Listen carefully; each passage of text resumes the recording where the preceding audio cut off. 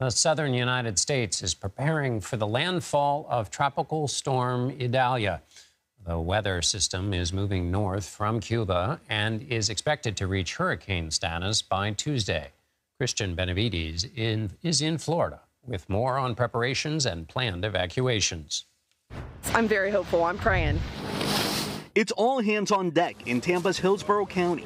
Residents preparing for the potential power of Hurricane Idalia, filling sandbags bracing for up to 11 feet of storm surge along the Florida coast. After Ian last year, I'm actually keeping a hurricane kit because Ian kind of snuck up on us. 19 counties are under emergency evacuation orders, officials warning millions of residents along Florida's west coast to get to higher ground. This is going to be a major hurricane. Uh, this is going to be a powerful hurricane. Supplies are quickly running out.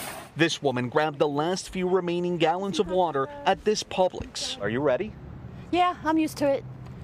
Just bunker down and, you know, hope for the best and pray we have power. Residents are being asked to keep their gas tanks at least half full. But there are concerns after gas was contaminated at 29 gas stations across Florida. Tampa International Airport will close at midnight and will remain closed until after the storm. John, you'll recall last year, Hurricane Ian made a last minute switch. And so officials are telling everyone along Florida's Gulf Coast to be on alert. John?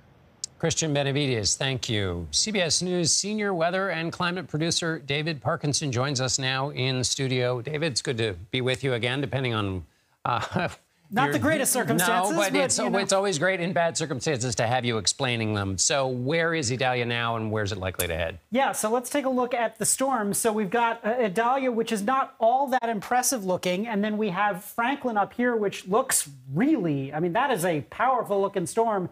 Look at how well defined that eye is. That's a major hurricane. But you remember I was talking about fish storms last time. Uh, that's a fish storm. It's not going to impact any land, but Idalia absolutely is. Now, here's the thing to take clear note on Idalia. You don't see an eye, but you do see convection starting to fire. You see some of these brighter colors. What that means is the storm is trying to organize, but it's failing because there's a low level center in one area and there's an upper level center in another area.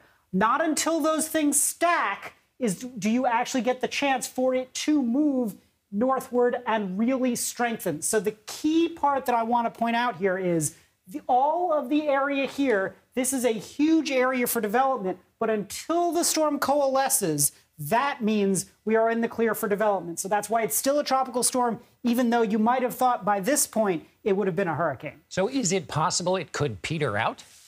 I wouldn't say that it's possible that it could peter out, but the direction that it goes, that's the real interesting question here. So let's show you a little bit of the future cast. This is the official forecast from the National Hurricane Center, and then I threw uh, one of the models, the North American model, on here. And you can see Right now, this storm is a category three. This is what the landfall is expected to be Wednesday morning. You'll see all of the storm now pushing the water onto land. So we've got the storm surge threat. I want to again point out here you've got all of this water being pushed on shore, even into Tampa Bay. That's why there's a four to seven foot storm surge threat there, John, is that even though the center of the storm, look at how far the center of the storm is away. That's 150, 200 miles. But again, all of this water is getting pushed right up along the coast. And that's the area where you've got an 8 to 12 foot storm surge. That's where the worst storm surge is. And then as the storm continues to track further inland, you see another threat, interestingly enough, actually. You see that threat right here along the coastline of South Carolina and North Carolina as well as you move into Thursday. What could happen in terms of weakening? Well, here's your ensemble model plot. There's a lot of them here, right? So there, they, we run the model 50 different times. There's ensemble member number 50. Um, so we run the model 50 different times. We tweak the physics a little bit, and we give us all these different indications. So some of them, like this one, shows that it's already in central Florida by 7 a.m. on Wednesday. That would suggest a weaker storm because it's moved over land sooner, it's moved quicker, but it's moved closer to Tampa Bay. So the impacts might actually be worse there. If you get something like model number 28 here, it has a lot longer over the warmer water. So this will probably be your strongest storm but it will be the weakest impacts because it's so much farther from Tampa. But this right here, this is the National Hurricane Center line right here in the middle. It's a little bit more easterly focused. I think there's two reasons for that. One, because that's where the guidance seems to suggest, but also because they want to keep Tampa just on the edge of the cone to keep people sensitive there. But again, we still have a lot of variability. I mean, this from edge to edge is well over 200 miles. Just really briefly, uh, stick on that point, which is when people see the cone, remind us again of how to read the cone and what it tells us. Sure. So the cone basically, so let, if, if the cone were, were this, let's just say, I mean, it's not exactly that, but let's say the cone were this. What you need to know is, is that the, anywhere in the cone is where you're actually, the cone actually extends all the way out to here. Um, anywhere in the cone is fair game for a landfall. Two thirds of the time. One third of the time, it's actually outside of the cone. So we do it based upon the, the historical error. But even if you are not in the cone, so if you're nowhere in here, but you're down in Tampa or you're down in Fort Myers, it doesn't actually matter. You actually get some of the impacts. So storm surge shows you that we've got storm surge possible down by Fort Myers, four to seven feet in Tampa, and then the worst here, again, that whole area down there, well outside of the cone, and flooding, same thing. You don't have to be in the cone to have a freshwater flood threat. Uh, this is a large storm.